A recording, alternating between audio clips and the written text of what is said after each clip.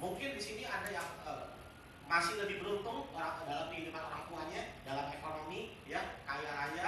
Kalau kami enggak. Jadi kami itu mesti berjuang.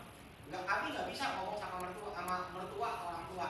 E, Pak, minta dong mau beli mobil, nggak bisa, nggak bisa. Bahkan kami pun sampai tahu diri, ya itu ngajar les buat bantu orang ini teman-teman uang kuliah. Ya, alhasil ya kesimpulannya nih, saya di sini teriak, gua nggak mau jadi orang susah lagi. Karena udah berapa tahun nih yang saya jalani teman-teman? Ini 9 tahun saya jalanin. Ya, saya saya bilang kalau ada kerjaan atau usaha apa nih yang bisa rubah hidup gua, gua pasti jalanin. Itu saking eh, kalau mungkin teman-teman tanya, koden ya kira-kira apa sih kekuatan koden?